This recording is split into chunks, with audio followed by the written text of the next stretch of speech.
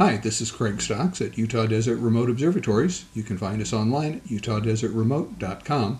And this is the second of a two part video looking at the Andromeda Galaxy and different ways to process it.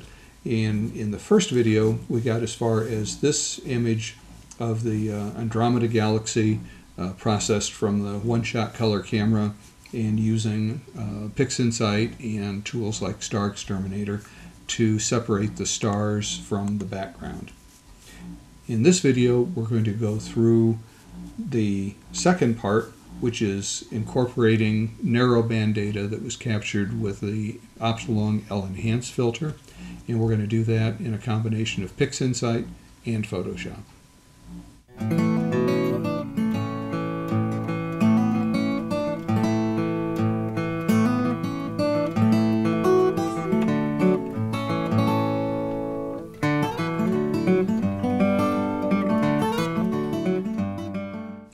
Picking up somewhat where we left off, I'll close a few of these windows. This is the L-Enhance version of the image, and we want to go through basically the same processing steps that we did with the first one. Uh, first, we'll notice that there's a gradient here, and so we're going to use Graxpert, which I found under Toolbox, Graxpert, and we'll apply that to this image and that'll even out this, um, this gradient uh, so that we have a more uniform background. And it also does kind of a preliminary white balance. We want to then apply a uh, better color balance. And to do that, we're going to use uh, spectrophotometric color calibration. And again, I'm going to grab my saved version. This time we're going to do something different. Because this is a dual narrowband image, in the spectrophotometric color calibration, we're going to select narrowband filters mode. And then we'll apply that. And what that's doing, it's going to go through the same process of trying to find a, a, a white balance for the image or a color balance for the image, uh, such that the colors of the stars line up appropriately with their their Gaia catalog uh, colors that they that they should be. But in this case, it's no, does it knowing that the red, green, and blue were captured with a dual narrowband filter. And let me explain what a dual narrowband filter does. Uh, in a normal filter, you capture a broad range of red, green, and blue, and then that's combined to create a continuous tone uh, RGB color image. In a dual narrowband, instead of capturing a full broad range of reds, greens, and blues, it has a very narrow uh, slot of color that it allows through. And typically for astronomy, those two bands that would be allowed through would be the very specific color of hydrogen, which is a, uh, a specific dark red color, and then the color of oxygen, which is a cyan or a green blue color. So instead of getting a full spectrum of red, green, and blue, what you really just get is a, a, particular slice of red and a particular slice of cyan, which is in the green and blue channels. It looks like a color image, but it doesn't have the continuous tones of a, a regular color image. And we're going to use that to our advantage because one of the things it does is it allows through a higher portion of these hydrogen emission nebula that are within the Andromeda galaxy. So we've now color balanced this. I'm going to next apply uh, BlurXTerminator. And I have a another saved process version over here. And as a shortcut, you can save these process versions and then just drag them onto the image. And so this is going to sharpen the stars and also is going to sharpen the details in the galaxy. And this takes typically about 30 seconds to run. So that is done now. And we're starting to see the these hydrogen areas even more clearly. Now it's time to stretch the image, and we're going to do that using the screen transfer function, just like we did before, and the histogram transformation tool. But this time I'm going to adjust it a little bit. Uh, and to do that, I'll click on this plus sign, and this lets me zoom in not to the image, but to the sliders that are on the screen transfer tool. And the positions of these sliders are what we're copying from the screen transfer function down into the histogram transformation tool. But before we copy them, I can fine tune the position by switching back to the arrow tool and then moving over the slider and click and drag. So for instance, we can make the background a little bit darker and we can adjust the brightness of the foreground or the main part of the nebula. And what I'm really looking at is trying to get the best contrast I can get around these hydrogen areas. And it's a little bit hard to see because of the stars. Um, and it doesn't have to be perfect, it just has to be reasonable. So now I'll copy these settings down to the histogram transformation tool, click the square box to apply those. And we now have a stretched, or you'll sometimes hear the term nonlinear image.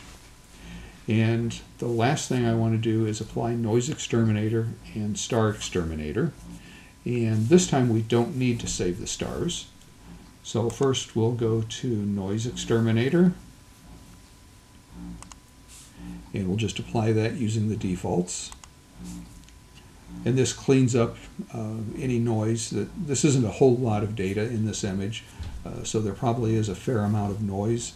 Uh, I tend to use this pretty routinely, uh, so all my images get NoiseXTerminator applied and typically just using the defaults. And lastly, we will go to StarXTerminator.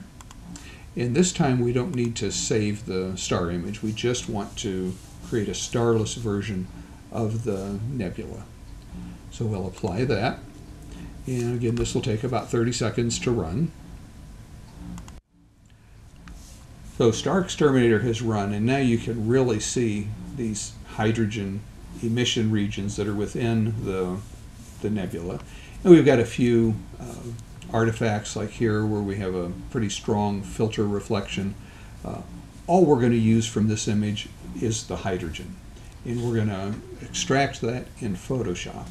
So I'll just go to File, Save As, and again we'll save this as a 16-bit TIFF, and we'll save it in the same folder we were working in before. and 16-bit TIFF, save, and now let's hop over to Photoshop. So this is the image that we left off with before, and we could just start over, um, but I might as well use the image that we already have, but I do want to add the, the L-Enhance data to this.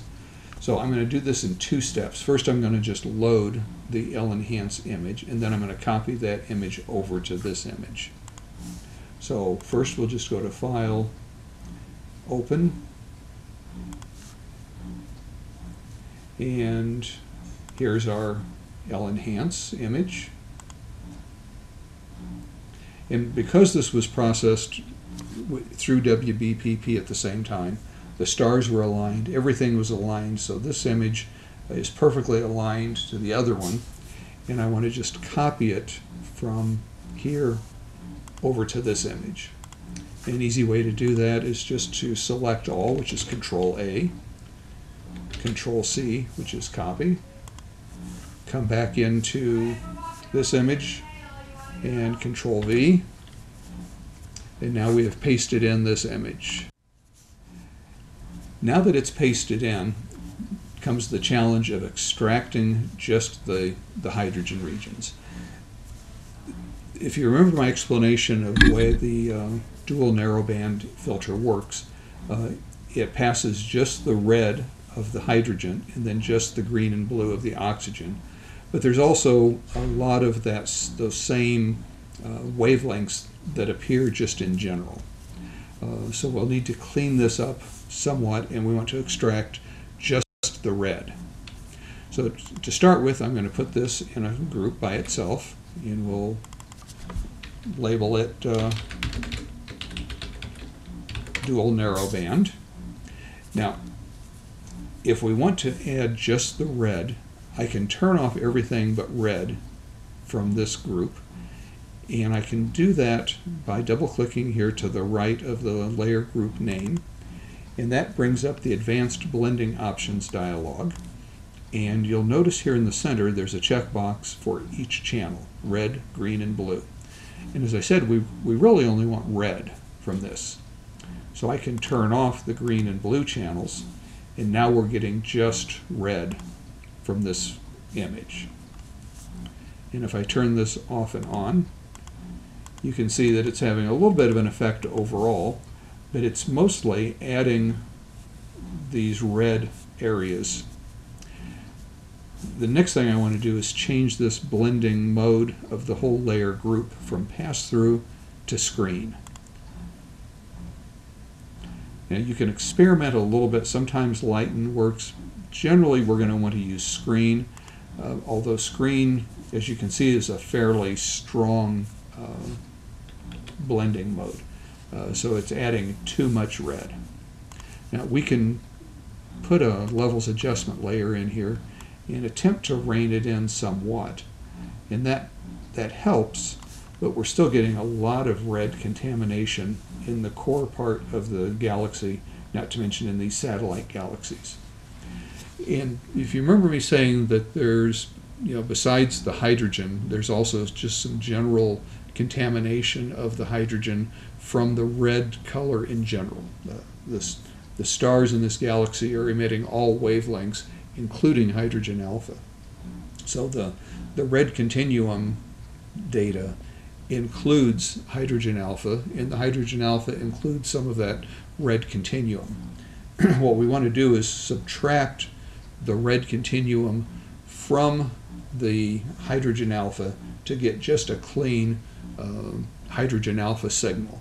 And it, it, usually is a little bit fiddly, but to do that, if you recall, we have this RGB image down here and an RGB image includes the red continuum. So we'll just make a copy of this layer and we can just use Control J to create a duplicate. And then I'm going to drag this duplicate up into the dual narrowband layer group. And what I want to do is subtract this image from the hydrogen alpha. And if we do it right, it'll leave just the hydrogen alpha. So to subtract it, I'm going to use subtract blending mode. And almost always it's going to be not correct. So we'll need to make some adjustments. And the adjustments we're going to apply are through a, an adjustment layer. Again, everything's non-destructive. So I'm going to add a levels adjustment layer, and then I'm going to use this option to clip this adjustment layer to the layer below it. And what that'll let me do is change the apparent brightness of the continuum that we're subtracting from the hydrogen alpha.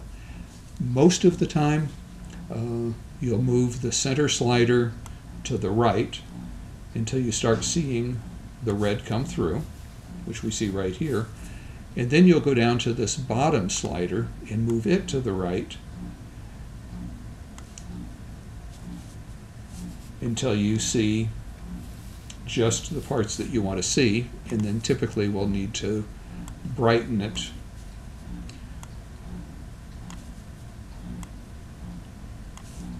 and it becomes a little bit of a little bit of a dance going back and forth.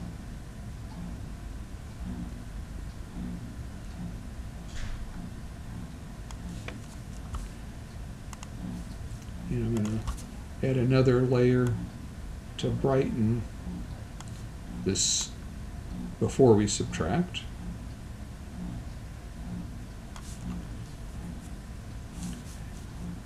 And sometimes, sometimes you just have to resort to a mask to get the last of it out.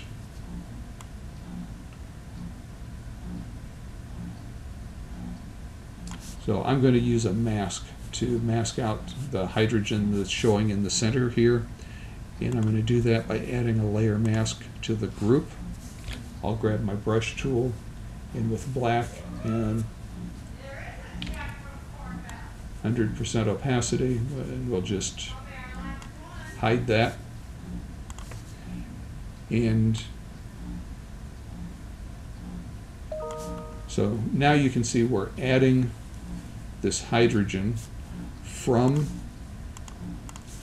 the dual narrowband filter. If I turn this layer group off and on, you can see what it's adding. We're adding just those hydrogen emission areas, and we've used continuum subtraction to subtract the red from the RGB from the red of the uh, dual narrowband filter. And we know we're using just red because this entire group is only uh, applying red.